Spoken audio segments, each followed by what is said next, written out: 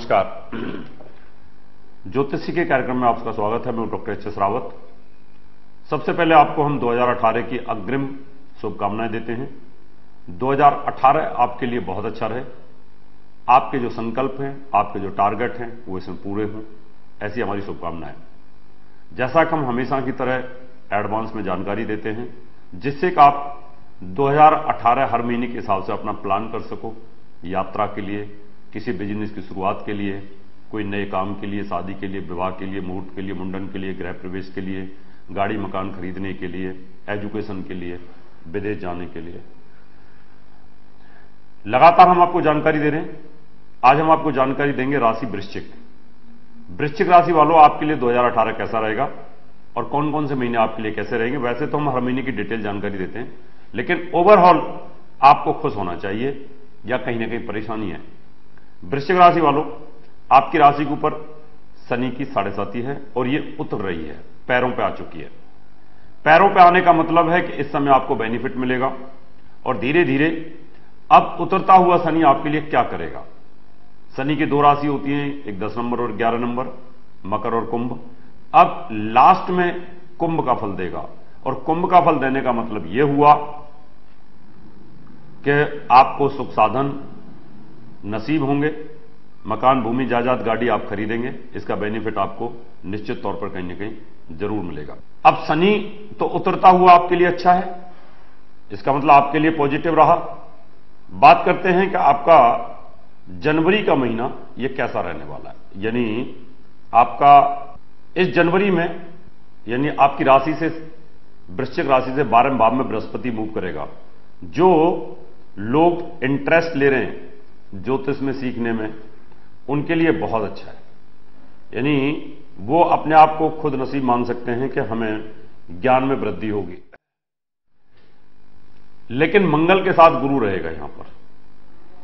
तो वृश्चिक वाली जो लड़कियाँ हैं या स्त्रियाँ हैं, उनके वैवाहिक जीवन के लिए 18 जनवरी तक का वक्त टफ है। यहाँ थोड़ा तालमेल बैठा रखने की ज़रूरत है, क्योंकि आपकी राशि का स्वामी मंगल छठे भाव का स्वामी होकर के गुरु के साथ बैठा हुआ जाकर के। गुरु और मंगल की युति अच्छी नहीं होती। आपके सेकंड हाउस पर 16 जनवरी तक 14 जनवरी तक शनि और सूर्य रहेंगे। शनि सूर्य की युति भी सेकंड हाउस में अच्छी नहीं है। ये आपके वैवाहिक जीवन, आपके परिवार की डिस्टर्बेंस इनको कहीं ना कहीं तकलीफ़ दे रही है, बढ़ाएगी। 14 जनवरी को सूर्य राशि प्रवर्तन करेंगे। 13 जनवरी को शुक्र भी राशि प्रवर्तन करेंगे। सूर्य राशि प्रवर्तन जब करेंगे, मकर संक्रांति पर, मकर राशि में चले जाएँगे तो छह महीने के लिए, मकर से मिथुन तक, उत्तरायण में रहने के कारण शुभ कार्य यहाँ पर शुरू हो जाते हैं। लेकिन 14 तारीख को सूर्य का केतु के साथ आना, सूर्य केतु की युति यहाँ पर आना यह छोटे भाई के लिए अच्छी नहीं है, चोट, एक्सीडेंट लगना हार्ट से संबंधित आपको तकलीफ़ आना, गले छाती में तकलीफ़ होना, आँखों में तकलीफ़ आना, ऐसा योग एक बनेगा यहाँ पर। इस योग के कारण आपको बचाव करने की ज़रूरत है। लेकिन यहीं पर एक कालसर्प योग भी बनेगा। यह संख नाद नाम का कालसर्प योग रहेगा, जिसके कारण आपको थोड़ा बचाव करने की आवश्यकता है। यह पिता के स्वास्थ्य के लिए अच्छा नहीं है। सूर्य आगे बढ़ेगा, यानी जनवरी से लेकर फरवरी तक 12 फरवरी की रात को, यानी 13 की सुबह शिफ्ट हो जाएगा। 13 फरवरी से लेकर के और 14 मार्च तक सूर्य कुंभ राशि में रहेगा। सूर्य कैरियर का स्वामी अपने कैरियर को देखेगा। जॉब के लिए काफ़ी अच्छा है। सुख साधनों के लिए भी अच्छा है। कभी कभी माँ के साथ तनाव रहेगा। लेकिन फिर भी सूर्य सरकारी कामों को मजबूती देता, सरकारी कामों में हमें अग्रसर करता है। तो इस पीरियड में आप 13 फरवरी से लेकर 14 मार्च के बीच में अगर कोई सरकारी काम करना चाहते हैं तो अच्छा है। जॉब के लिए भी अच्छा है। प्रमोशन के लिए भी अच्छा है। 14 मार्च से लेकर के और 14 अप्रैल तक यहाँ सूर्य मीन राशि में रहेगा। पुत्र संतान प्राप्त होने का योग, डॉक्टर एजुकेशन, कम्पिटेटिव एग्ज़ाम के लिए बहुत अच्छा है। लेकिन गर्भवती माला को थोड़ा सावधान रहना पड़ेगा, क्योंकि सूर्य जब जिस भाव में बैठता है, अग्निकारक होने के कारण वह गर्भ नष्ट की संभावना बनी रहती है। अप्रैल से लेकर मई तक 14 अप्रैल से लेकर के 15 मई के बीच में सूर्य उच्च रहेगा। आपके कैरियर का स्वामी उच्च है। और उच्च होने का मतलब यह रहा कि आपको मान सम्मान के उच्च स्तर पर रहेंगे। छठे भाव में रहकर के प्रसन्न होता है। दुश्मन को आप कुचल देंगे। मुकदमे में आपको बेजय प्राप्त होगी। शत्रु आपसे दबे रहेंगे। आपकी वाहवा होगी। यानी पंद्रह मई तक का फेस आपके लिए काफ़ी अच्छा रहेगा। पंद्रह मई के बाद में और पंद्रह जून तक यह आपके विवाह स्थान पर रहेगा।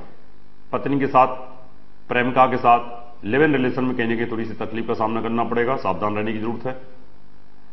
उसके बाद अष्टम भाव में सूर्य अच्छा नहीं है, जॉब में परेशानी रहेगी। जुलाई के अंदर और जुलाई से अगस्त तक के बीच में पाकिस्तान पर राहु के साथ रहेगा। जहाँ एक तकलीफ़ है, यहाँ कहीं ना कहीं हार्ट से संबंधित पिता को तकलीफ़ आएगी।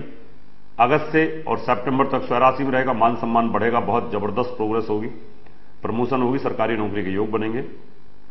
और उसके बाद नवंबर तक, यानी 16 से लेकर के अक्टूबर से नवंबर के बीच में नीच रहेगा, यहाँ आपके लिए तकलीफ़ दे है, जॉब में परेशानी छूट सकती है। अगस्त से लेकर के और सितंबर के बीच में काफ़ी अच्छा है। उसके बाद अप्रैल से लेकर मई के बीच में भी अच्छा है। तो कुछ पोर्शन आपके लिए अच्छे हैं जिनमें बहुत अच्छा कर सकते हैं। मित्रों यह था वृश्चिक राशि का फलादेश। आपकी भी कोई समस्या तो आप अपॉइंटमेंट लेकर के मुझे मिल सकते हैं। अपनी कुंडली दिखा सकते हैं, वास्तु चेक करवा सकते हैं, पूजा पाठ के लिए संपर्क कर सकते हैं। अभी समय आपसे हाथ लेने का अगले एपिसोड में धनु राशि की जानकारी लेकर के फिर उपस्थित होंगे। तब तक के लिए नमस्कार।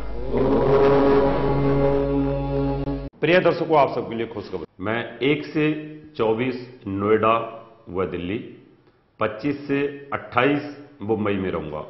अगर आप अपनी कुंडली दिखाना चाहते हैं, वास्तु विज़िट करवाना चाहते हैं, या अच्छी क्वालिटी के नग लेना चाहते हैं, पूजा पाठ करवाना चाहते हैं तो आप मुझे निम्न टेलीफोन पर संपर्क कर सकते हैं। फ़ोन नंबर है nine two one double two, nine six zero, nine zero, nine eight triple one double four one five six.